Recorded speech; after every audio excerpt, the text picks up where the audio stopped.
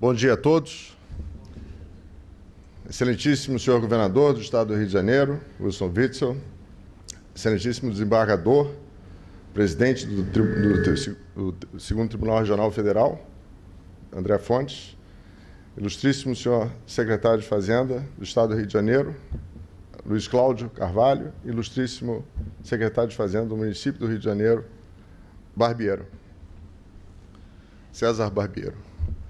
Ah, senhoras e senhores, é com muita satisfação que a BDF dá aos senhores as boas-vindas para esse uh, quarto Congresso Internacional de Direito Tributário, em homenagem ao nosso, nosso querido e saudoso Ricardo Lobo Torres.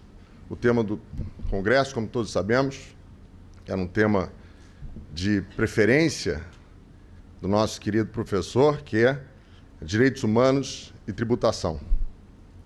Esse o congresso foi resultado de um esforço conjunto, em primeiro lugar, de todos os membros que integraram o comitê organizador, já citados aqui pela nossa MC, pelo apoio e participação dos nossos patrocinadores e instituições apoiadoras e de todos os palestrantes, dos 130 palestrantes que estarão nos ensinando questões específicas de direito tributário ao longo desses três dias. Uh, as qualidades que ornam a personalidade do nosso querido professor Ricardo Lobo Torres, nosso eterno presidente da ABDF, ela não só está relacionada com seu vasto enciclopédico conhecimento, não só sobre direito tributário, mas sobre filosofia, sobre ética e na sua vasta obra que tanto ensinou os seus seguidores atualmente uh, sobre as mais diversas matérias nesse ramo do direito.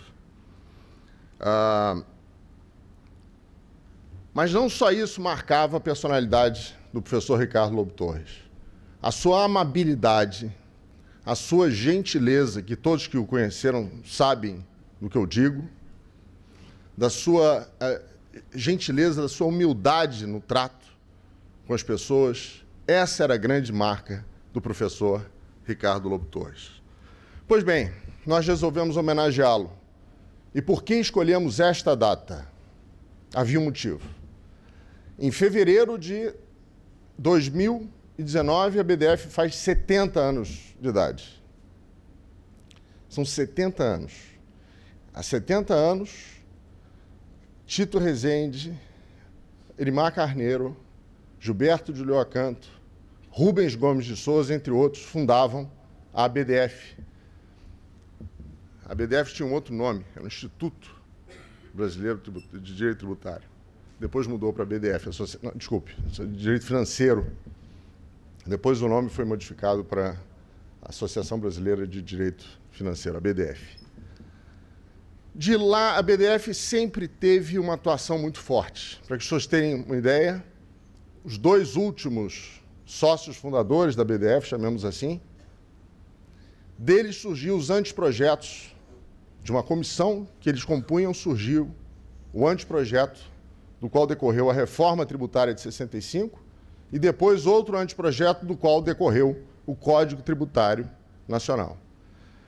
Portanto, a BDF foi berço do sistema tributário nacional em vigor, porque a Constituição Federal de 88 ela não conseguiu modificá-lo a ponto de nós podermos dizer que nós temos um outro sistema. Portanto, a BDF foi o berço, podemos dizer assim, do nosso, eh, dos criadores, dos, dos maiores criadores. Tivemos aqui a presença do professor Paulo de Barros Carvalho, que também teve uma participação enorme na criação desse, desse marco regulatório do direito tributário. Foi a única reforma tributária que houve no país.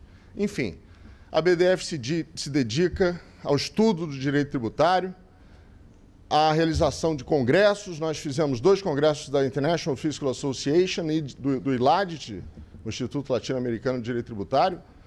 Dois congressos, o último foi em 2017, com 2 mil pessoas, 1.500 pessoas provenientes do exterior. E é com esse intuito, o de promover o estudo do direito tributário, é que nós realizamos esse quarto congresso. E será o quarto de uma série de muitos.